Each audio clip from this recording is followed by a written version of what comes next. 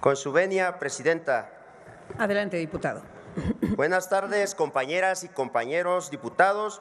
Saludo a quienes nos escuchan por el canal de Congreso y las redes sociales.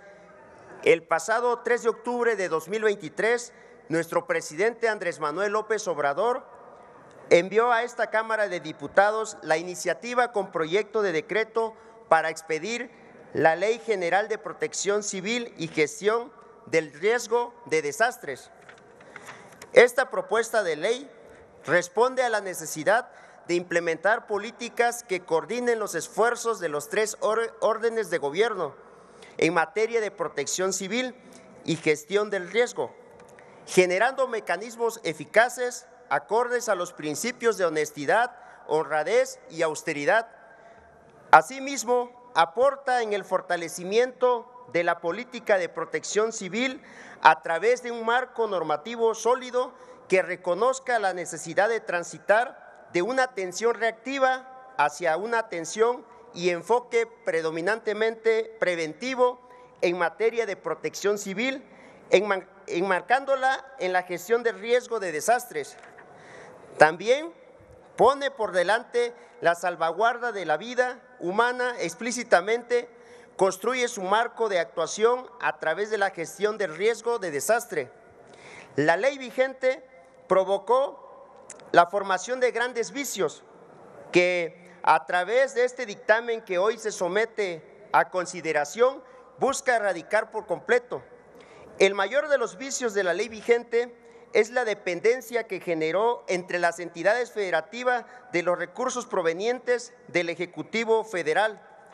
Esta nueva ley establece que serán las entidades federativas quienes prevean los recursos para atender una situación de emergencia, tal como lo señala la Ley Federal de Disciplina Financiera de las entidades federativas y municipios, que les precisa a disponer de un fondo de recursos para atender de manera inmediata a la población que hubiera resultado afectada y a reconstruir su infraestructura pública.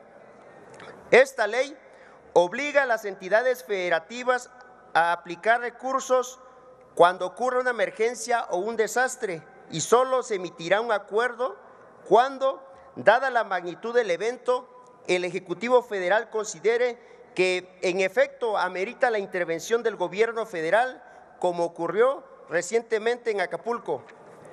Es muy importante señalar que esta reingeniería permitiría una mejor comunicación y trabajo coordinado entre las entidades federativas y la federación a través de un mecanismo de transferencia de recursos.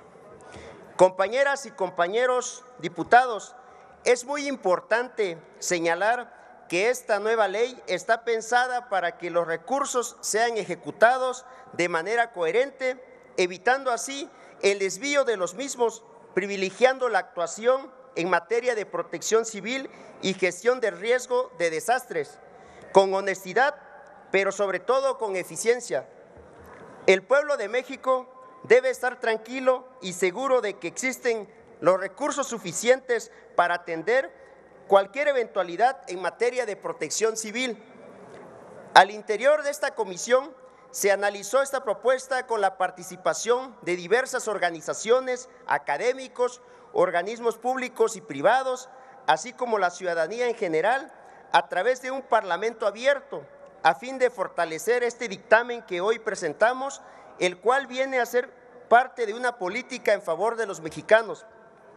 El trabajo realizado en esta comisión fue arduo y de debate.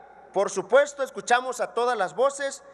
Como resultado, se obtuvo la elaboración de este dictamen que contiene los mecanismos de coordinación adecuados para reducir el riesgo existente, evitar los riesgos futuros, pero sobre todo la salvaguarda de las personas y sus bienes.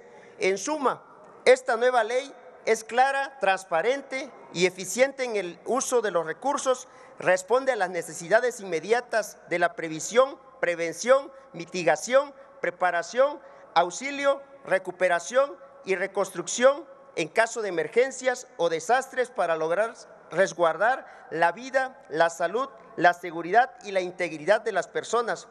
Esta ley pretende ser también más ciudadana. Concentra su atención en describir las etapas que conforman la gestión del riesgo de desastres. Además, está alineada directamente al marco de Sendai para la reducción del riesgo de desastres 2015-2030 y robustece el papel del Sistema Nacional de Protección Civil.